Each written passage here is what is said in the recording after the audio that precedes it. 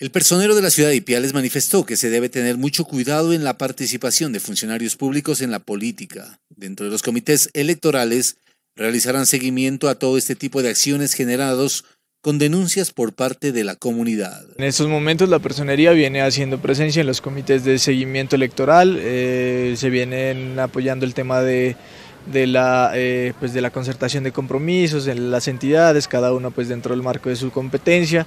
Eh, nosotros particularmente junto con la Procuraduría pues cada, en cada elección suscribimos un acta de colaboración donde hacemos presencia en los puestos de votación con tal de hacer verificación y recibir quejas de la ciudadanía.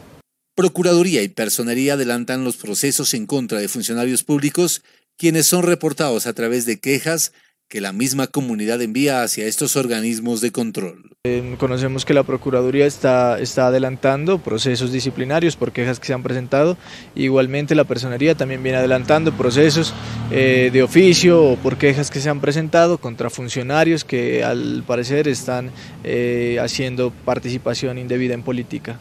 De acuerdo al personero de Ipiales, la comunidad evidencia la participación de funcionarios dentro de eventos públicos que circulan por las redes sociales y quienes posteriormente realizan las denuncias respectivas en los organismos de control y comités electorales.